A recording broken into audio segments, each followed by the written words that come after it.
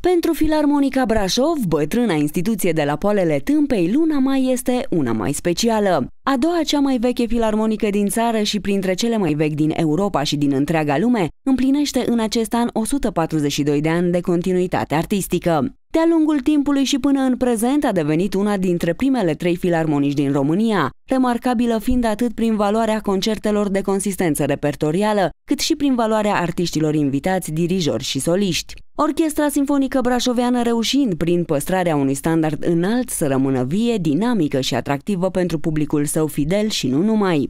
Este o lună specială pentru Filarmonica Brașov și spunem asta pentru că aceasta este luna în care Filarmonica își pune străile de sărbătoare, așa cum ne place nouă să spunem. Uh, povestea începe undeva în 142 uh, de ani în urmă, în 6 mai 1878, atunci când avea să aibă loc primul concert uh, susținut de formația sinfonică a Societății Filarmonice de la acea vreme. Prin urmare, ne bucurăm. Este moment de sărbătoare. 142 de ani de Filarmonica Brașov Brașov.